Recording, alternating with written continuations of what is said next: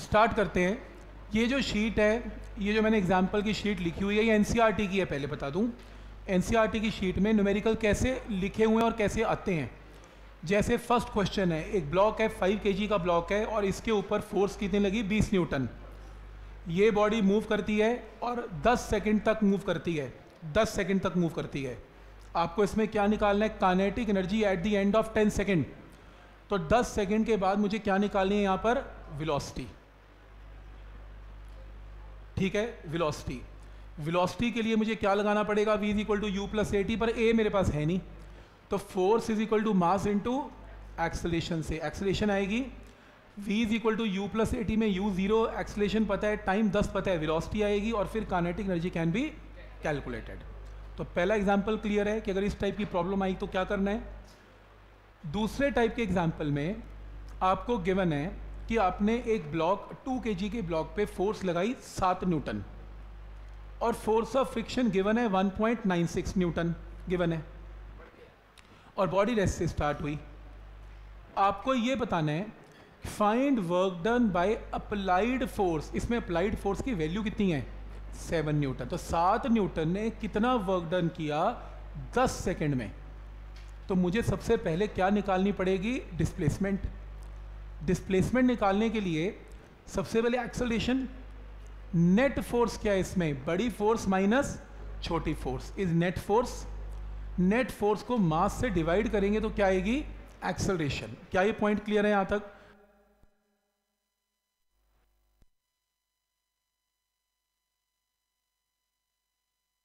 तो net force आ गई. Net force को मास से डिवाइड करेंगे तो एक्सलेशन 10 सेकंड में बॉडी ने डिस्प्लेसमेंट कितनी कवर की? U t plus half a t square में 126 मीटर। 126 मीटर एक्चुअल डिस्प्लेसमेंट है उसकी। पहला part work done by applied force निकालो। अप्लाइड फोर्स कितनी है? सात न्यूटन। तो फोर्स में क्या पुट करेंगे? सात न्यूटन इंटू वन आंसर दूसरा पार्ट है वर्क डन बाय फ्रिक्शन तो वर्क डन बाय फ्रिक्शन में जो फोर्स पुट करेंगे, वो कौन सी पुट करेंगे? फ्रिक्शन डिस्प्लेसमेंट 126 आंसर नेगेटिव में आएगा नेगेटिव लगा लेना। क्योंकि work done by friction is always negative समझ में आ रहा है? अगर अप्लाइड फोर्स है तो अप्लाइड फोर्स फ्रिक्शन है तो फ्रिक्शन की फोर्स नेक्स्ट है work done by net force अब नेट फोर्स हमने कितनी निकाली थी? बड़ी फोर्स में से छोटी फोर्स कितनी? 5.0 फोर्स तो यहाँ पर 5.04 point zero four into one twenty six ये भी क्लियर है? और लास्ट है change in kinetic energy of the body work energy theorem हमने की है। वर्क एनर्जी थ्योरम क्या कहती है?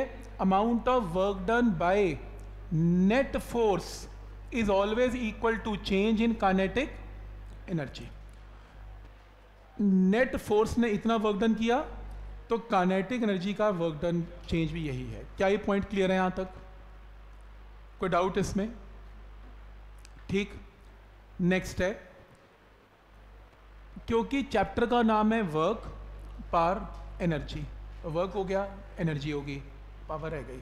पावर क्लोज कर देते हैं. Work done upon time energy upon time खत्म. चैप्टर क्लोज एक डेफिनेशन ही रह गई थी. ठीक है? तो एक मशीन है. दो क्रेन्स हैं. दो क्रेन्स हैं. और दोनों क्रेन को एच हाइट पर एक ब्लॉक को उठाना है. और दोनों अगर एच हाइट तक ब्लॉक को उठाएँगी तो वर्क डन क्या करेंगी? एम एक ने कम समय में किया, एक ने ज़्यादा समय में किया। वर्क डन दोनों ने सेम किया। तो अगर वर्क डन सेम किया टाइम टेकन एक का कम है तो पावर उसकी ज़्यादा है। और जिसका टाइम टेकन ज़्यादा है तो पावर उसकी कम है। तो यानी कि जो गाड़ी हैं कार्स हैं, गाड़ियों में सबने मान लो मान लो तीन चार गाड़ियाँ हैं, मारुति 800 भी है बड़ी बड़ी गाड़ियाँ भी हैं सबने दिल्ली जाना है, ढाई सौ किलोमीटर कवर करने हैं, मारुति 800 जाएगी, नहीं जाएगी? वो भी उतना ही वर्क डन करेगी, बड़ी गाड़ी भी उतना ही वर्क डन करेगी एरोप्लेन भी उतना ही वर्क डन करेगा ट्रेन भी वही वर्क डन करेगी एमजी जो भी वर्क डन है। पर प्लेन जल्दी करेगा। मारुति 800 लेट करेगी। साइकिल वाला और लेट करेगा। तो टाइम टेकन जितना ज़्यादा लगाएगा पावर उतनी कम हो जाएगी। तो इसीलिए बड़ी गाड़ियों की पावर इंजन इंजन जो है वो पावरफुल हैं, क्योंकि वो काम जो करते हैं, बहुत कम टाइम में करते हैं। अपने ब्रेन्स के साथ भी है कई लोग वर्क एनर्जी पार चार घंटे में ख़त्म कर लेंगे। कोई चार दिन नहीं ख़त्म करेगा। काम तो वही करेगा शीट तो वही कर रहा है। जो चार घंटे में ख़त्म कर रहा है, यानी कि कंसंट्रेशन ज़्यादा है। हम कहते हैं उसकी ब्रेन की पावर ज़्यादा है। और किसी की ब्रेन की पावर का हमें काम सबको उतना ही करना है। तो पॉइंट समझ में आ रहा है। तो पावर का क्या कॉन्सेप्ट है? नेक्स्ट है, एक पंप है। पानी का पंप है। और टैंक लगा हुआ है घर के ऊपर। टैंक पंप जो है, उसकी एफिशिएंसी 30 परसेंट है। एफिशिएंसी को, जो हम रिप्रेजेंट करते हैं, वो ईटा से रिप्रेजेंट करते हैं। सिंबल को ईटा बोलते हैं। एफिशिएंसी का सिंबल ईटा होता है। एफिशिएंसी का मतलब होता है output power divided by input power into 100 efficiency clear है? याद हो गई? कोई भी machine output power, input power into 100 अब वो कह रहे हैं कि ये जो टैंक है, वो 30 मीटर क्यूब का टैंक है। ये पंप इसमें 30 मीटर क्यूब पानी भरेगा 15 मिनट में भरेगा। How much electric power is consume by the pump ये पंप कितनी बिजली की फॉर्म में पावर हमसे लेगा, ये बताओ, क्योंकि चलेगा तो बिजली से। तो ये बताओ कि जो बिजली की पावर है इलेक्ट्रिकल पावर है, वो इनपुट पावर काउंट होगी कि आउटपुट पावर काउंट होगी? इनपुट है कि आउटपुट है? कितने लोग बोलते हैं कि इनपुट है? कितने बोलते हैं आउटपुट है? मतलब मैं पंप लेके आऊँगा मार्केट से चलते हैं पंप लेके आते हैं, बिजली की पावर आउटपुट है, वो हमें बिजली देगा। वो पानी नहीं भरेगा। वो बिजली हमसे वो बिजली लेगा इलेक्ट्रिसिटी तो लेगा, करेगा क्या? पानी को ऊपर चढ़ाएगा। पानी को ऊपर चढ़ाना आउटपुट है। इलेक्ट्रिकल पावर लेना हमसे इनपुट है। तो बेसिकली इलेक्ट्रिकल एनर्जी किसमें कन्वर्ट हो रही है? मैकेनिकल एनर्जी में। समझ में आ रहा है यहाँ तक? तो पंप आउटपुट बिजली नहीं देता, काम करके देगा हमें। राइट तो पंप क्या काम करके देगा? 40 मीटर पे टैंक लगा हुआ है। MGH हाइट पे पानी को चढ़ा देगा। तो MGH इसका अमाउंट ऑफ़ वर्क डन है। तो अगर मैं कहूँ कि आउटपुट वर्क डन कितने पंप का, आप क्या बोलेंगे? MGH amount of work done output कितने है? एम और आउटपुट पावर कितनी है? MGH को टाइम से डिवाइड कर देते हैं। तो यानी कि एफिशिएंसी का फॉर्मूले में एफिशिएंसी 30 परसेंट है 30 बाई हंड्रेड आउटपुट पावर क्या है? M G H by time और इनपुट पावर इलेक्ट्रिकल है, वो मुझे निकालनी है। तो क्या ये डेफिनेशन समझ में आ गई? एफिशिएंसी पुट कर दी। आउटपुट में पानी ऊपर चढ़ेगा तो M G H by T input electrical energy मुझे निकालनी है। तो अगर मैं आपको एम जी एच और टी बता दूँ आंसर आ जाएगा। टाइम मुझे गिवन है पंद्रह मिनट। सेकेंड में मैं कन्वर्ट कर लूँगा। टाइम मुझे गिवन है। हाइट मुझे 40 मीटर गिवन है। जी मुझे 9.8 पता है। मुझे क्या नहीं गिवन मास पानी का मास नहीं गिवन पर मास की जगह मुझे क्या गिवन है? वॉल्यूम गिवन है। पानी का वॉल्यूम गिवन है। पानी की जो डेंसिटी है वो याद रखनी है। एसआई और सीजीएस में गिवन नहीं होती। एसआई में 1000 थाउज़ेंड के पर मीटर क्यूब सीजीएस में बन होती है। तो सबसे पहला काम क्या करेंगे? मास निकालेंगे। मास क्या होता है? वॉल्यूम इंटू डेंसिटी वॉल्यूम 30 है डेंसिटी 1000 है तो ये आपका मास आ गया। ठीक हो गया? आंसर आ गया। मास आ गया। जी पता है एच पता है टाइम पता है एफिशिएंसी पता है क्रॉस मल्टीप्लाई करके इनपुट पावर आ जाएगी। तो कॉन्सेप्ट कैसे लगेगा? एफिशिएंसी का समझ में आ रहा है। Output power by input power into 100 क्या ये स्टेप क्लियर है? ठीक है, यहाँ तक।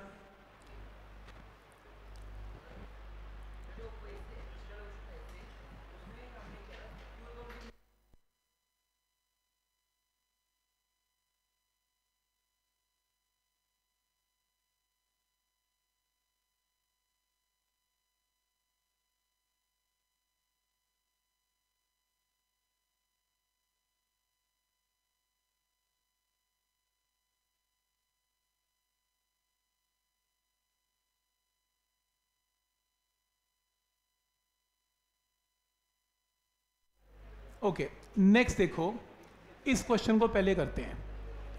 इस क्वेश्चन के अंदर, जैसे सपोज़ आप इस क्वेश्चन को करें।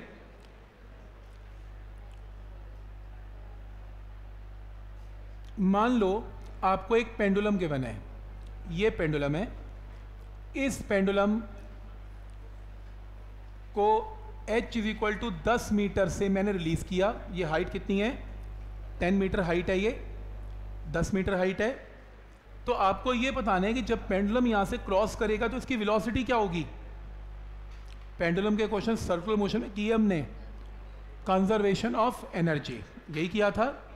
तो क्या करेंगे? यहाँ पर sum of potential and kinetic और नीचे sum of potential and kinetic क्या करेंगे? एग्जैक्टली exactly सेम तो बोले पोटेंशियल यहाँ पर कितनी है?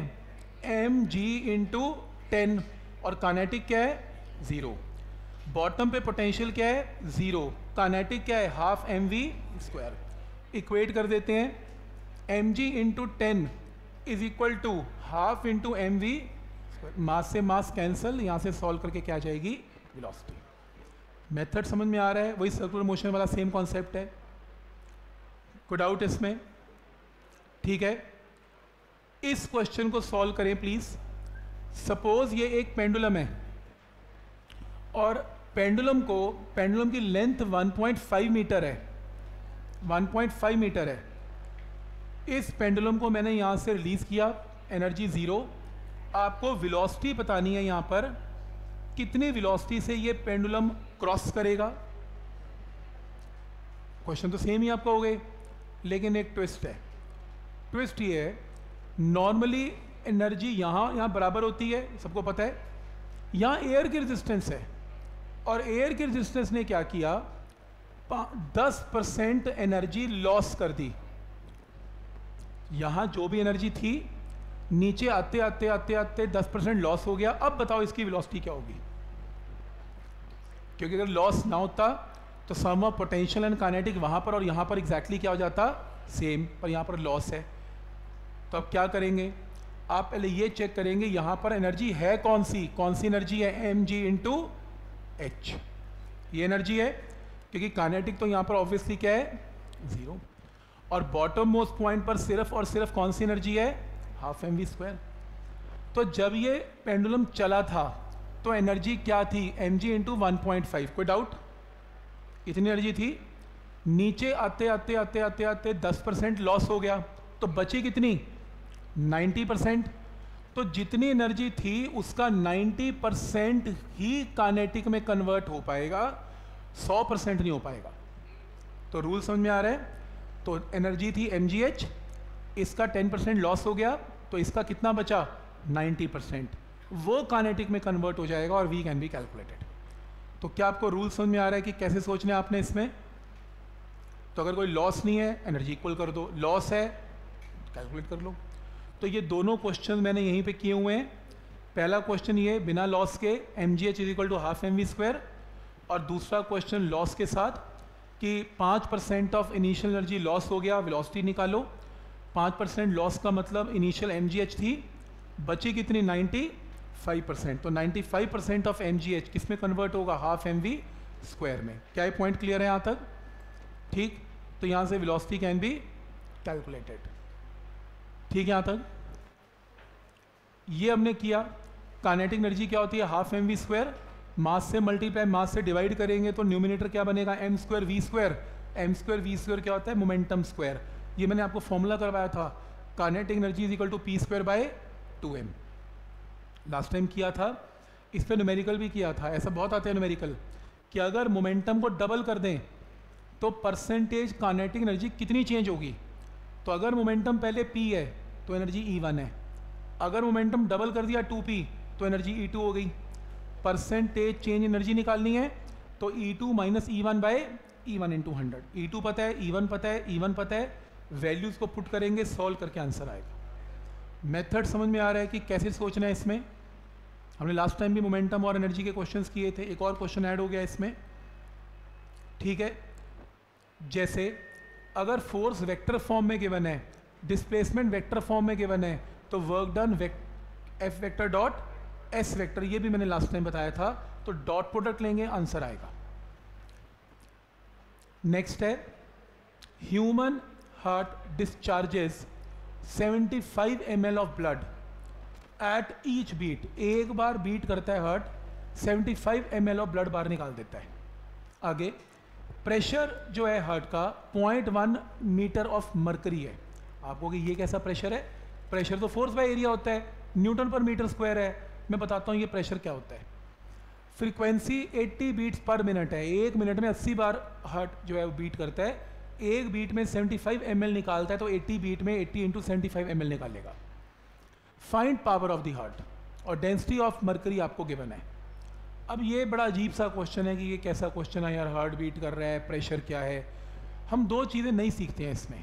पहली प्रेशर को कैलकुलेट कैसे करते हैं? ये प्रेशर चैप्टर आएगा, उसमें बताया जाएगा। जैसे अगर प्रेशर गिवन है point one metre of mercury इसको सही तरीके से ऐसे लिखा जाता है point one into density of mercury into G तो डेंसिटी ऑफ़ मरकरी गिवन है और जी 9.8 है तो प्रेशर ऐसे कैलकुलेट होता है। जैसे कल को एक और न्यूमेरिकल आ गया। उसमें गिवन है pressure point one metre of water तो पॉइंट वन को किससे मल्टीप्लाई करेंगे? Density of water into G तो ऐसे प्रेशर सही निकलेगा। तो पहला स्टेप समझ में आ गया प्रेशर की वैल्यू कैसे निकलेगी? तो प्रेशर अगर मीटर्स में गिवन है तो उसको कैसे सही करके लिखना है? पहला पॉइंट क्लियर है। और दूसरा पॉइंट भी समझ लो। लिक्विड और गैसेज में डिस्प्लेसमेंट नहीं है। क्या मतलब अगर मैं कहूँगा एक बाल्टी भर के पानी लेके आता हूँ और वर्क डन बताओ कितना किया? पानी गेरूँ ज़मीन पे पानी गेरूँगा और पानी की डिस्प्लेसमेंट निकालूँगा, कैसे निकलेगी? ऐसे थोड़ी ना या जैसे गैस है, पिस्टन है, गैस है, सिलेंडर है, प्रेशर लगा रही है गैस तो वर्क पिस्टन ऊपर उठ गया। तो गैस ने कितना वर्क डन किया, उसको कैसे कैलकुलेट करते हैं? तो लिक्विड और गैसेस का वर्क डन कैसे कैलकुलेट होता है, उसका तरीका देखो। वर्क डन की जो वैल्यू है वर्क डन की जो वैल्यू है, वो क्या है? फोर्स इनटू डिस्प्लेसमेंट राइट और वर्क डन का एक और फॉर्मूला है प्रेशर इनटू वॉल्यूम ये प्रेशर इनटू वॉल्यूम लिक्विड और गैसेस के लिए यूज़ करते हैं केमिस्ट्री टीचर सिखाएँगे आपको प्रेशर इनटू वॉल्यूम ऐसा क्यों? क्योंकि प्रेशर क्या होता है? फोर्स बाय एरिया इनटू क्या? वॉल्यूम वॉल्यूम एरिया किसमें मेजर करते हैं? मीटर स्क्वायर और वॉल्यूम किसमें? मीटर का cube cancel force into metre force into distance क्या आ गया? वर्क डन तो आप याद रखेंगे लिक्विड्स में और गैसेस में वर्क डन कैलकुलेट करने का तरीका pressure into volume force into displacement नहीं प्रेशर इनटू वॉल्यूम क्लियर है यहाँ तक? तो इसके अंदर प्रेशर तो आपने निकाल दिया। Point one into density of mercury into g density of mercury given है जी गिवन है। एक बीट में वर्क डन कितना होता है? प्रेशर इंटू वॉल्यूम प्रेशर हमने निकाल लिया और वॉल्यूम 75 फाइव हमें गिवन है मीटर क्यूब में कन्वर्ट कर लिया। एक बीट का वर्क डन आ गया। 80 बीट्स का वर्क डन करने के लिए इसको किससे मल्टीप्लाई कर दिया? वर्क डन को 80 से। तो 80 बीट्स का वर्क डन आ गया। पावर क्या होता है? वर्क डन बाय टाइम और 80 बीट्स कितनी समय में हुआ? एक मिनट में। एक मिनट का मतलब 60 सेकेंड। तो वर्क डन को 60 से डिवाइड किया पावर आ गई। है तो एनसीईआरटी की प्रॉब्लम बट अलग सी प्रॉब्लम है जो कि नॉर्मल हट के प्रॉब्लम है तो ये मैंने इसलिए करवा दी ताकि आप डाउट्स की फॉर्म में लेके ना आए। पॉइंट समझ में आ रहा है यहाँ तक कि इसमें दो नई चीज़ें हैं। How to calculate pressure how to calculate work done pressure into volume ठीक है यहाँ तक? इसके अंदर ये एक और क्वेश्चन था साइक्लिस्ट वाला, ये रहा। Man cycles up a hill slope one in twenty, जब ऐसा लिखा हो ना, स्लोप वन इन ट्वेंटी, इसका मतलब sine theta one by twenty होता है। तो साइकिल वाला साइकिल चलाते हुए हिल के वो टॉप पे जा रहा है, वेलोसिटी 6.4 किलोमीटर पर आ रहा है। Weight of the cycle 98 kg है। वर्क डन निकाल लो 60 सेकंड में कितना है। तो सबसे पहली चीज़, जब ये साइकिल वाला ऊपर जाएगा, कौन सी फोर्स नीचे एक्ट करेगी? एम जी साइन थीटा तो कम से कम ऊपर जाने में कितनी फोर्स लगाए एम जी साइन थीटा ताकि वो ऊपर जाए। चलो एक्सलेट नहीं करेगा। वेलोसिटी कांस्टेंट है तो कम से कम फोर्स क्या लगाएगा ऊपर? एम जी साइन थीटा तो पावर क्या होता है? Work done by time work done क्या होता है? Force into displacement displacement by time क्या होती है? वेलोसिटी तो बॉक्स में डालो। पावर का एक नया formula force into velocity box में डालो। पावर का फॉर्मूला एक नया आ गया फोर्स इनटू वेलोसिटी तो इस साइकिल वाले के लिए फोर्स कितनी लग रही है? एम जी साइन थीटा और वेलोसिटी कितनी है? गिवन है। तो एम पता है जी पता है साइन थीटा पता है वेलोसिटी पता है। तो क्या आ जाएगी? पावर आ जाएगी साइकिल वाले की। पावर क्या होता है? वर्क डन बाय टाइम उसने क्या पूछा? वर्क डन तो work done is power into time answer तो आइडिया समझ में आ रहा है कि इस टाइप की प्रॉब्लम कैसे सॉल्व होगी। कोई डाउट इसमें?